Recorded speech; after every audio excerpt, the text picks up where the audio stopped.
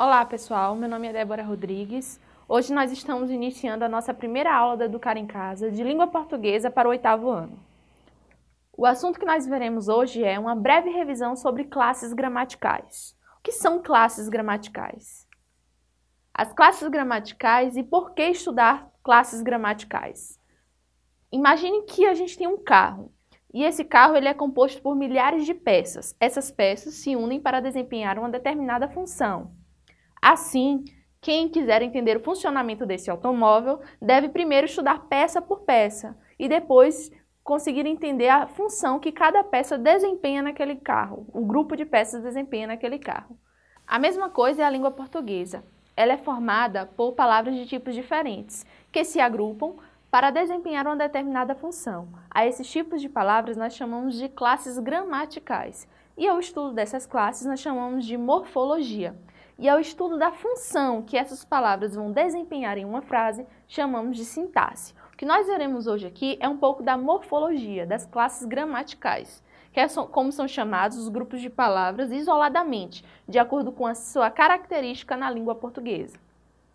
Quais são os tipos de classes gramaticais? Nós temos as classes gramaticais variáveis e as invariáveis, como por exemplo aqui homem bonito, mulheres bonitas. Cheguei cedo e chegamos cedo. Nós temos aqui no caso do adjetivo, que ela é uma classe de gramatical variável, porque ela pode variar em gênero e em número. E temos aqui no caso cedo, que é um advérbio, que ele não varia nem gênero nem número, ele não concorda, então é uma invariável. As classes gramaticais variáveis são verbo, adjetivo, substantivo, artigo, numeral e pronome. E as classes gramaticais invariáveis são a preposição, a interjeição, a conjunção e o advérbio. No caso do substantivo, o que vem a ser o substantivo?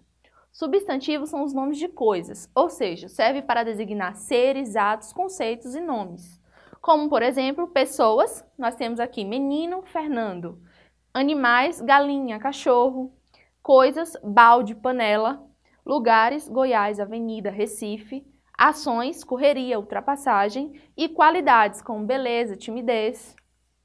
E a classificação, os substantivos podem ser classificados em substantivo próprio, que vai indicar um ser único, como no exemplo aqui, Brasil, João. Um substantivo comum, qualquer um pode ser o motorista, como por exemplo, motorista, é um substantivo comum. Substantivo primitivo é aquele que não provém de uma outra palavra. Por exemplo, barba é um substantivo primitivo. Dele deriva outras palavras, mas ele não deriva de nenhuma outra palavra.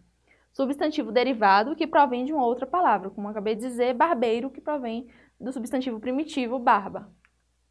Substantivo composto, que é formado por, de duas ou mais palavras, como no exemplo couve-flor, guarda-roupa, entre outros. Substantivo abstrato, que vai indicar uma qualidade, um sentimento, uma ação, um estado, como beleza. Nós não, não apalpamos, não pegamos um substantivo abstrato, ele não é concreto.